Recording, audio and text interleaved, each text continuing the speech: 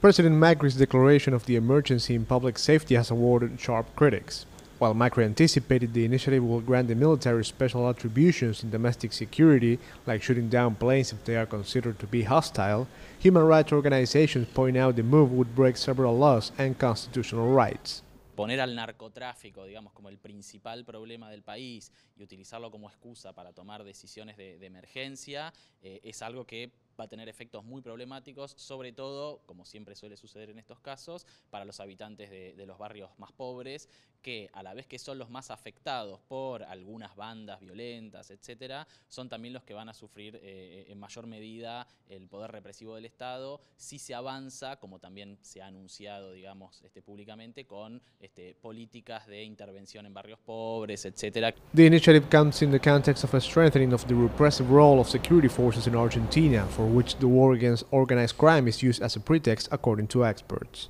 Ha trascendido también que eh, se va a autorizar el, el, derribo de aeronaves en caso de que éstas no se identifiquen o no respondan a las advertencias, lo cual para nosotros es eh, extremadamente problemático porque implica de alguna manera una especie de pena de muerte, digamos, encubierta para determinados delitos, como por ejemplo el narcotráfico.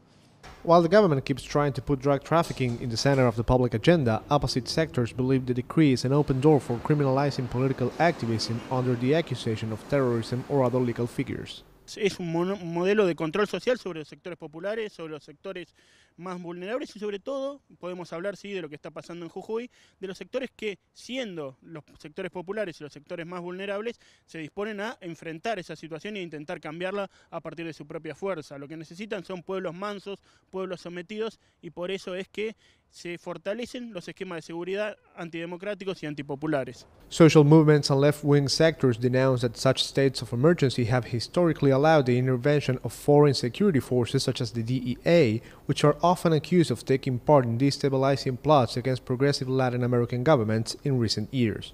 Laureano Ponce, Telesur Buenos Aires.